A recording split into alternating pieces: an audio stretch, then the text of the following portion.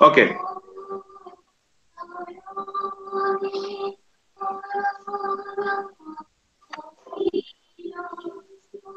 Okay, fine. So now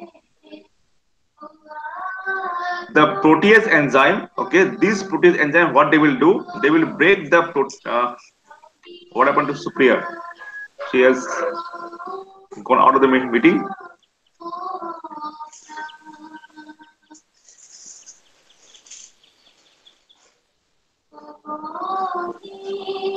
Uh,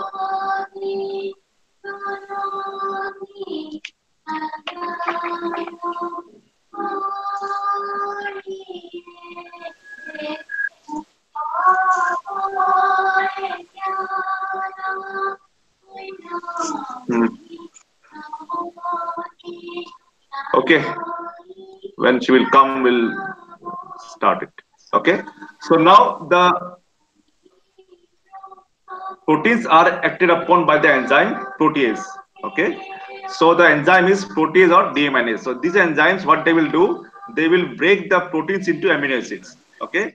Now these amino acids, okay, they uh, since they are broken down by the bacterial protease and deaminase, so they will enter into the bacteria only. So as a result, what will happen? The protein, the amino acids will not be available for the animal. Okay, fine. So in that case, there will be loss of the protein because animal is not getting the protein. Only the bacteria are uh, this, uh, they are using these amino acids. Okay, so in that case, okay, so that means what it says, very less amount of protein escapes to the abomasum from rumen. Okay, the few of the proteins which are not attacked by the bacterial uh, microbes because all proteins are not attacked by the bacterial microbes. Few proteins they escape the attack by the bacteria. So this protein is called bypass protein.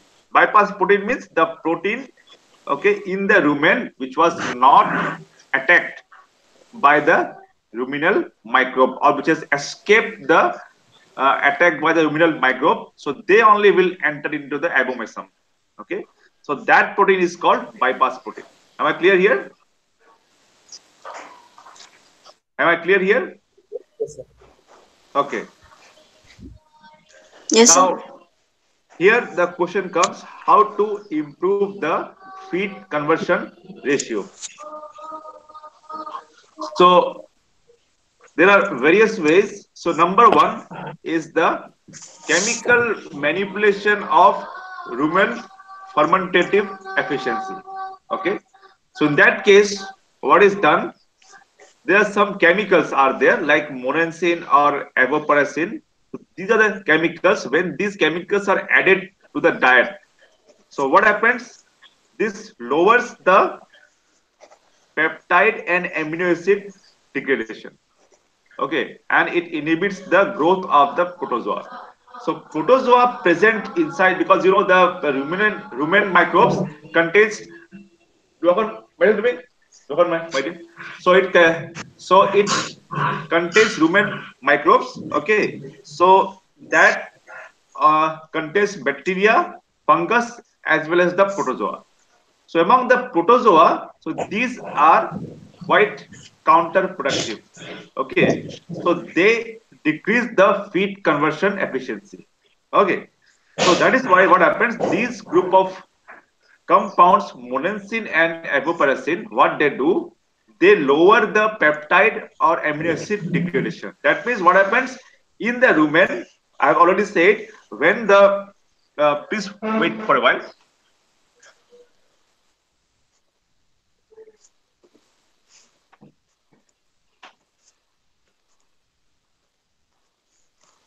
So now in the rumen, when the protein enters, okay, these are acted upon by the ruminant microbes. Okay, so this microbial attack in the rumen is prevented by these two compounds. Okay, so that's how what happens. More amount of protein proteins enter the abomasum. Am I clear? Yes, sir. Okay. And apart from that, this compound they also inhibit the growth of the protozoa. So protozoa have got significant effect on lowering of the uh, feed conversion efficiency. Okay.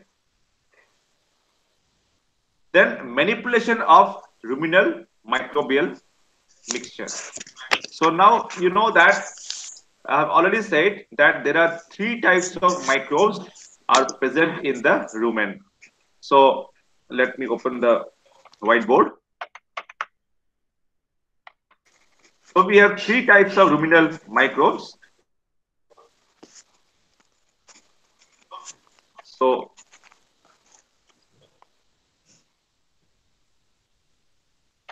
So one is called ruminal bacteria. Then second one is called is fungus. Okay. And third one is the protozoa. Okay. Now among this, the protozoa,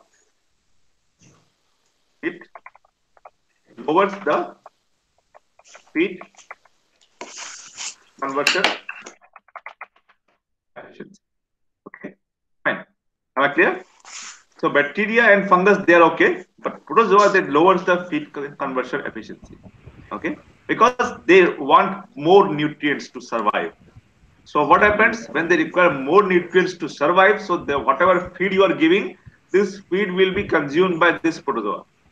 Okay, and the less amount of nutrients will be available to the animal. Okay. Okay. So now uh, it is shown here. The protozoa also interferes bacterial colonization. Colonization means what does it mean? See, the bacterial colonization means, means what? Because inside the rumen, there is a ruminal wall. You know about it. Okay. Inside part of the rumen, it is called ruminal wall. So in the ruminal wall, these bacteria, they used to adhere. So they used to adhere into the ruminal wall. Okay. So this adherence of the bacteria in the ruminal wall is called colonization. Okay. So now the protozoa also required to adhere to the ruminal wall. Okay. So there will be competition between bacteria as well as protozoa. Okay. Either of these two can remain. And protozoa is more strong. It is stronger than bacteria. So what will happen? This protozoa will not allow the beneficial ruminal bacteria to adhere to the ruminal wall. So that adherence to the ruminal wall is called colonization. So hmm. colonization will be prevented by protozoa. Okay. So it is essential that you decrease the population of the protozoa so that more amount of bacteria can colonize the ruminal wall. Okay, and you can increase the feed conversion efficiency. Okay.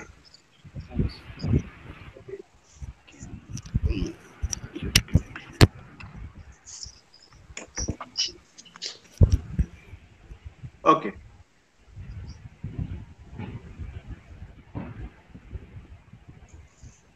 Okay. So now we use a process called defaunation. So what is defaunation? So defaunation, defaunation is we use a method called defaunation. So de- is it is the method of decreasing the population of in rumen. So it is a method of decreasing the population of protozoa in rumen that is called defaunation. Defaunation. Okay. So now if you do the defaunation, so what is the benefit? So you get the better feed conversion efficiency. Okay. Because the protozoa they what they do they uh, they consume more nutrients and as a result they lower the feed conversion efficiency okay So how the defaunation can be achieved? So defaunation can be achieved by using some tropical forages. That means some tropical forages are there. Okay, forage means what? Feed, feed material which you get, get from grasses and all. So these tropical forages, okay, they have the capability, okay, to cause defaunation. Am I clear? Yes, sir. So in the feed, you will have to include those uh, agents. Okay. Okay. Then development of the supplements. So now there are some supplements. Supplements means what? So these are just like we are taking dietary supplements. Say after food, we should take some kind of tonics. Okay. So these are dietary supplements. So similarly in animals also, we use some kind of feed supplements. So these are like urea molasses multi-nutrient blocks. So now these particular blocks, okay, they contain multiple nutrients, okay, and these uh, nutrients or urea, what they do, they increase the feed conversion efficiency, okay, by manipulating the uh, microflora of the rumen, okay. So these urea molasses, what they do, they decrease the population of the protozoa, okay, fine. And also this urea is uh, readily absorbed by the bacteria. Okay. Fine. So once the urea is taken up by the bacteria so the bacteria will not attack the proteins. Fine. Normally what is happening? The bacteria attacks the proteins okay and takes up the amino acids now in presence of urea what happens bacteria will not attack the proteins it will take the urea only and proteins will go. That means bypass protein will increase. Okay. Now we'll talk about the physicochemical reaction of the proteins. So now you know that we have discussed earlier that uh, if we do the heat denaturation of that means if uh, let me go, go to the whiteboard. Let me see.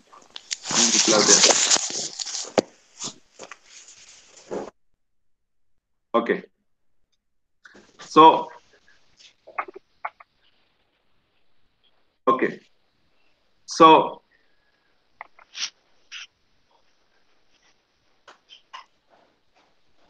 we have discussed earlier that uh, this is the protein, okay, made up of different amino acids. Okay. Once the proteins are denatured, denatured means proteins can be denatured by many ways. See, we have discussed earlier denaturation of DNA. The DNA can be denatured by increasing pH and by increasing temperature. Okay.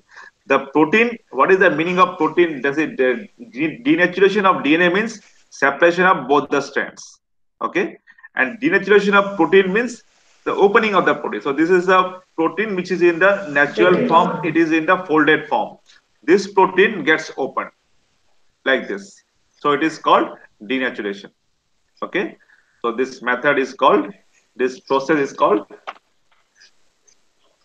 denaturation. So denaturation occurs by increasing or decreasing temperature or by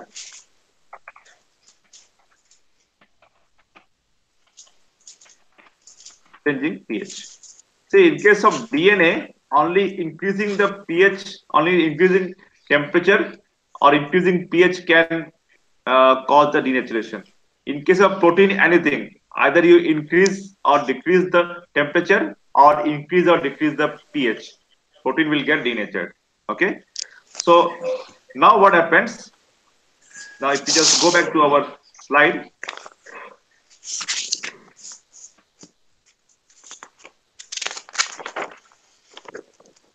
Just go back to our slide. Okay. So here what it says is that the proteins are subjected to 120 to 180 degree Celsius. Is a high temperature, this protein will get denatured. Now the denatured proteins are insoluble. Insoluble means, see, if we go back here.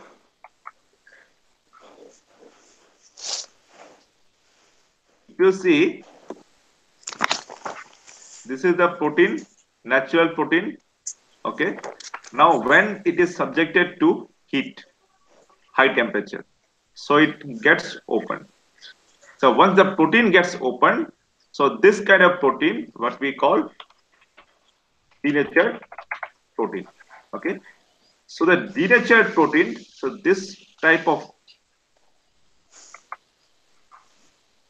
so this type of protein, it is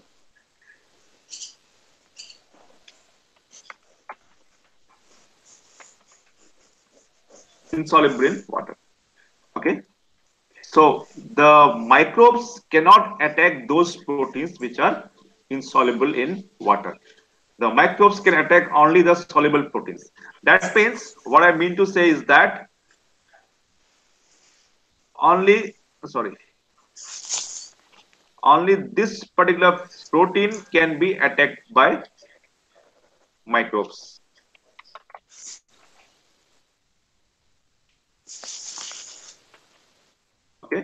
That means the natural or native protein. So this is so this is called native protein. So native protein only can be attacked by microbes. Okay, denatured pro proteins are insoluble proteins, so they cannot be attacked by the microbes. So if I write it here properly, I would say that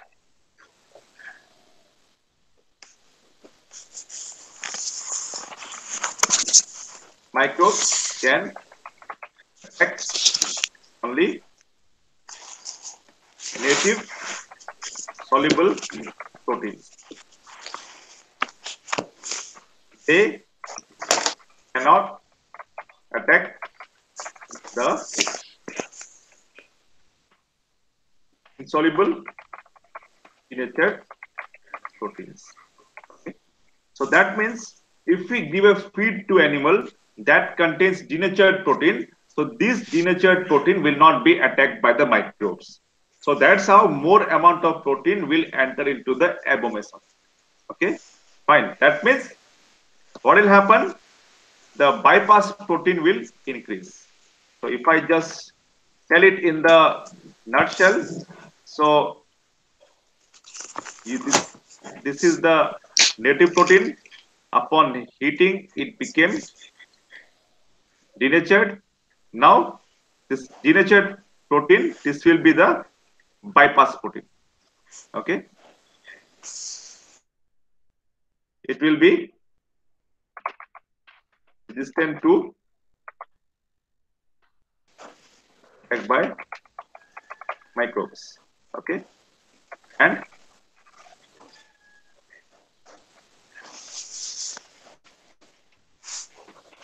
we'll go to abomasum.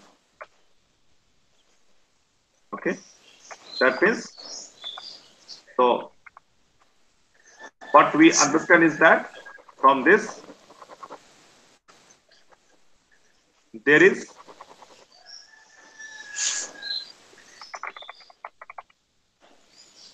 increase in amount of bypass protein. Okay, so bypass protein gets increased. Am I clear here?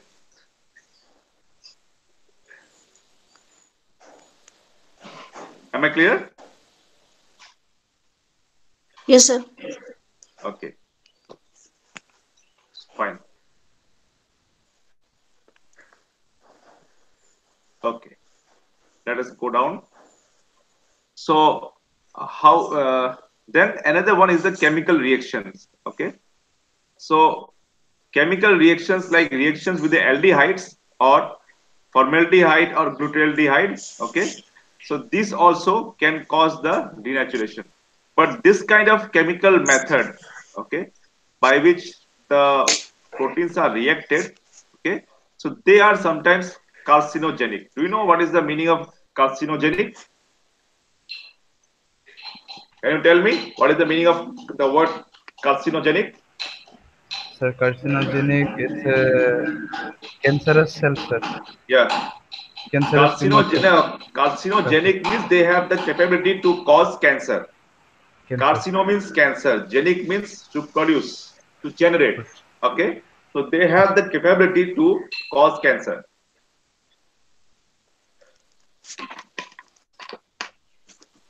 Okay. Then the another way is that chemical reaction we can do mixing the feed with the tannins. Okay. Or you can use the plants with the that means in the feed you can add the plants that have higher amount of tannin. So tannin will not allow bacteria to attack the microbial. I mean, it will not allow the rumen proteins. Okay, fine. Okay, so now there are new upcoming technologies that are coming up. One way is that coating the proteins with the calcium soaps containing long chain fatty acids. That means what is done? The proteins present in the feed, okay, they are coated with some kind of calcium soap. So calcium soap they contain fatty acids. That means what what it says is that if you just go back here, that means so this is the protein you have okay so now this protein is coated okay it is coated with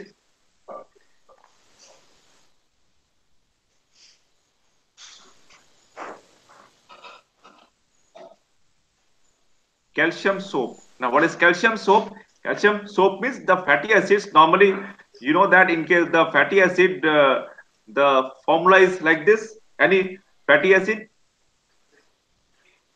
say CH, C, CH,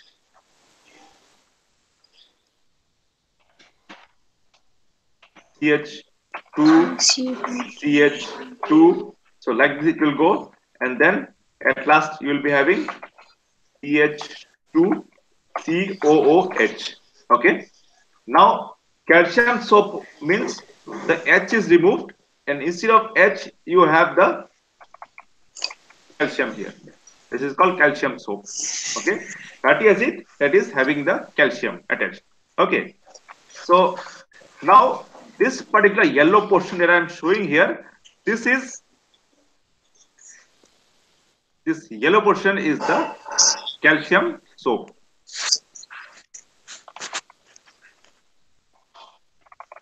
Okay, calcium soap. Now, what happens when these proteins are coated with the calcium soap? Now, the bacteria will not be able to, I mean, uh, this uh, microbes will not be able to attack, not only bacteria, I would say, the microbes. The microbes will not be able to attack the protein because protein is present inside the calcium soap. Okay, but this will be attacked only by the enzymes present in the uh, uh, abomasum. You know, the abomasum is a true stomach. Am I right or wrong? Abomasum is true stomach or false stomach? Hmm?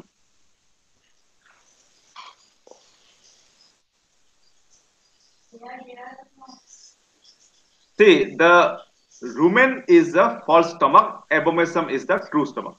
Okay, fine. So now, so when the proteins are coated with the calcium soap, so they become resistant. They become resistant to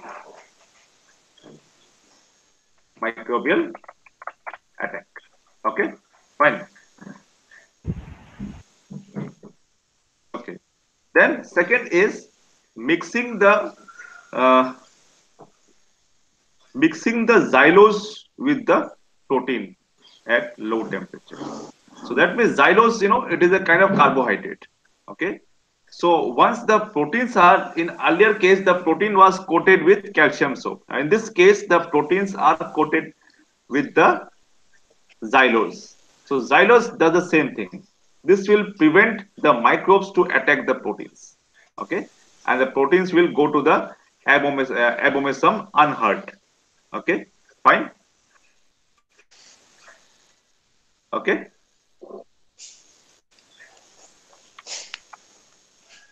So, do you have any question? No, sir. No. Okay.